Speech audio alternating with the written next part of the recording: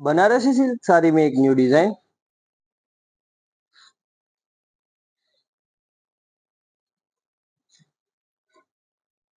ये पल्लू है beautiful tussle work के साथ।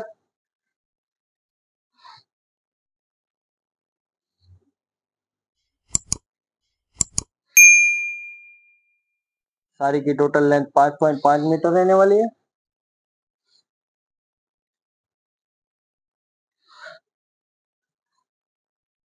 ऑल ओवर साड़ी में जरी वीविंग वर्क रहने वाला है।